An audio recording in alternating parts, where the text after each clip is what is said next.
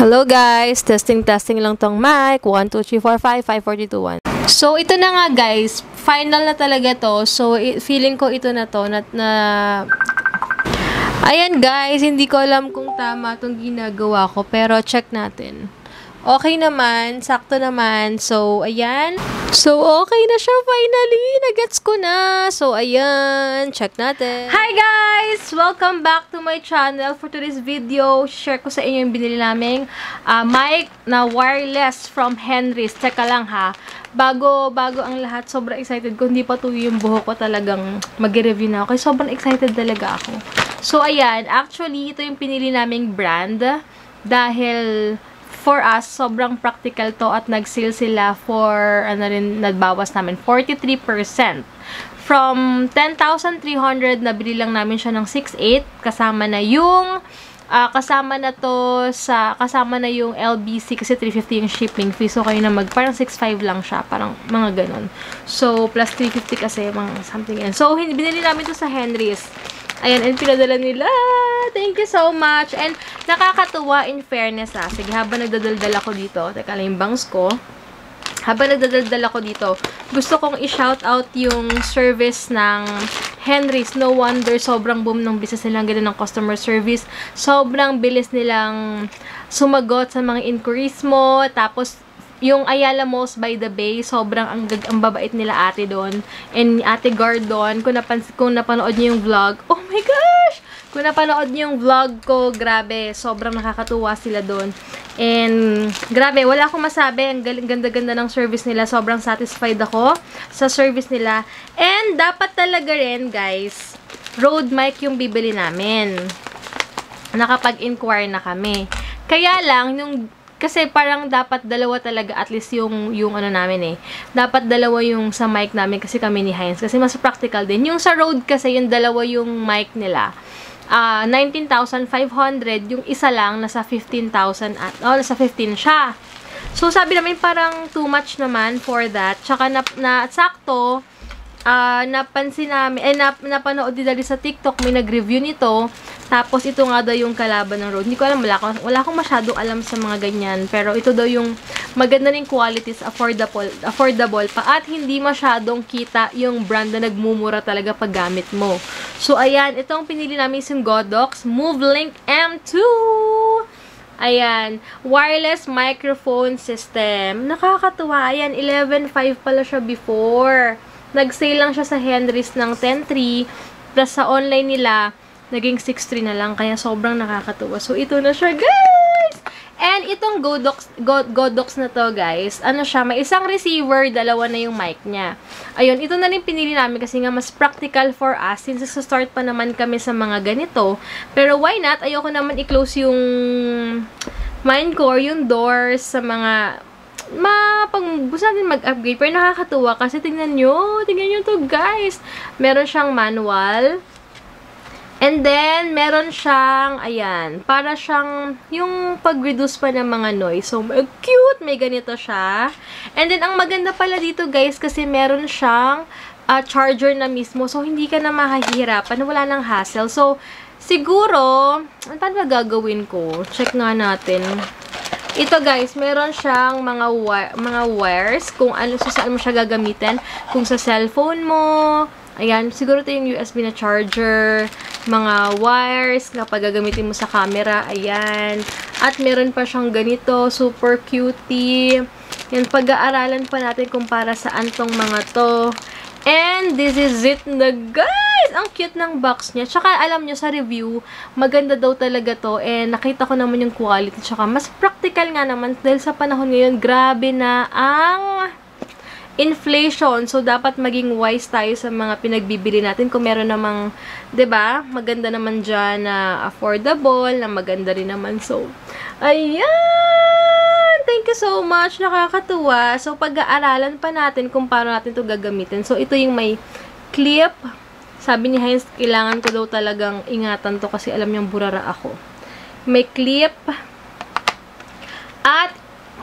Ayan. So, hindi ko alam kung asaan dito yung receiver or yung ano niya. Pero, ayan siya guys, nakakatuwa lang kasi alam niyo pinag-uusapan nga namin to kasi syempre gusto rin namin namin maka, since madaldal kami, marami kaming sinasabi lagi, and marami kaming sinishare sa Instagram or TikTok namin about sa life, about sa buhay-buhay. So, sabi namin, kailangan na rin talaga namin mag-invest sa ganito. Lalo na yung husband ko.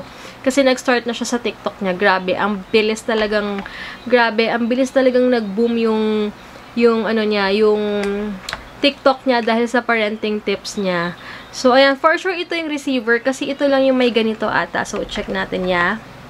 Ay, yeah, ito yung receiver. Siguro ito yung sa ganyan.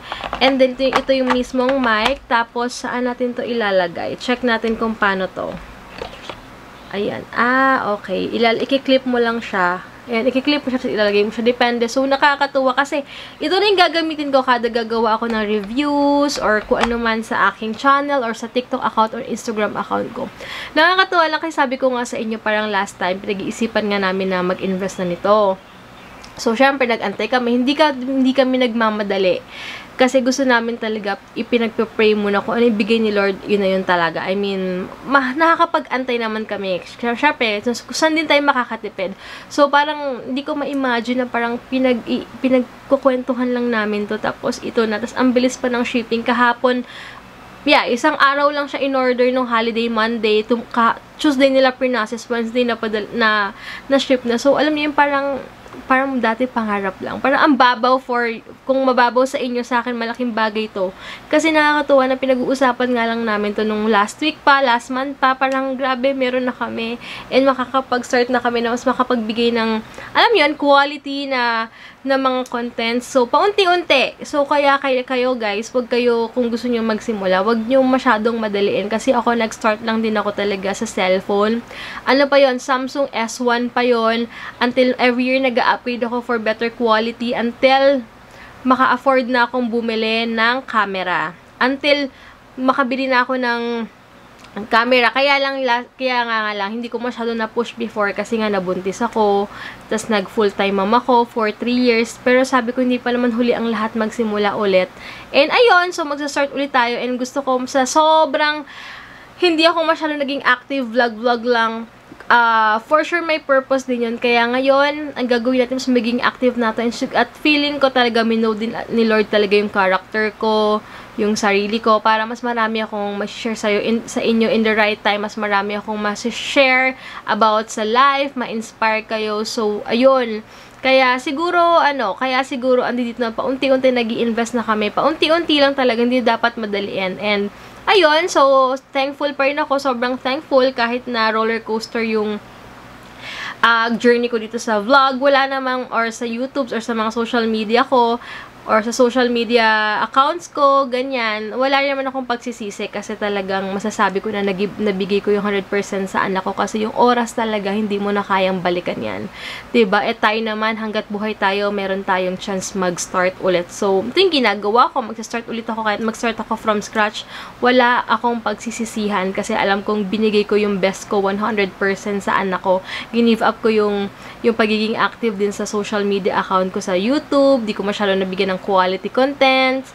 And sa business ko, nag-stop talaga ako para sa ano ko. Pero wala akong pinagsisihan kasi anytime naman, hanggat malakas tayo, hanggat humihinga tayo, may chance tayong magbago at magsimula. Kahit from scratch pa yan. At least, magsa-start ka from scratch na marami ka ng baon, marami ka ng wisdom, marami ka ng na-mold na talaga yung character mo. So, ayun, why not? ba diba? Mag-start tayo. So, ayan, and salamat, maraming salamat pa rin talaga na nandiyan lagi nang nagsusupport sa akin, lalo sa Instagram ko, sa TikTok. Maraming maraming salamat. So, kung bago kayo sa channel ko, ayan, please do subscribe. So, marami akong i-share sa inyo dahil meron na rin akong, meron na rin ako talagang mic and marami akong gustong i-share talaga, promise, sa life. So, uh, for sure, and, and I'll make sure na marami kayo matututunan at ma-realize sa buhay at may inspire kayo. So, ayun lang. So, ayan, I'm so happy. Pag-aaralan ko muna to, itatry ko muna, and try ko muna i-connect din sa camera ko para matry natin yung difference. Okay, wait lang, babalik ako. So, hindi ko alam kung gumagana na to, pero sinaksakan ko siya ng something sa, ng wire, and ito gumagana naman habang nagsasalita ako. As you can see, meron siyang gumagalaw-galaw siya, so hindi ko alam kung connected na bath, bath, But guys, ayan, babalitaan ko na lang kayo. Follow nyo lang yung TikTok, account ko. Nasa description box lahat. Instagram account. So, uh, yun, if ever man na interested kayo sa magagawin naming content or contents ng asawa ko, i- i-follow nyo na lang kami. And ayun, thank you so much guys for watching and God bless. Bye!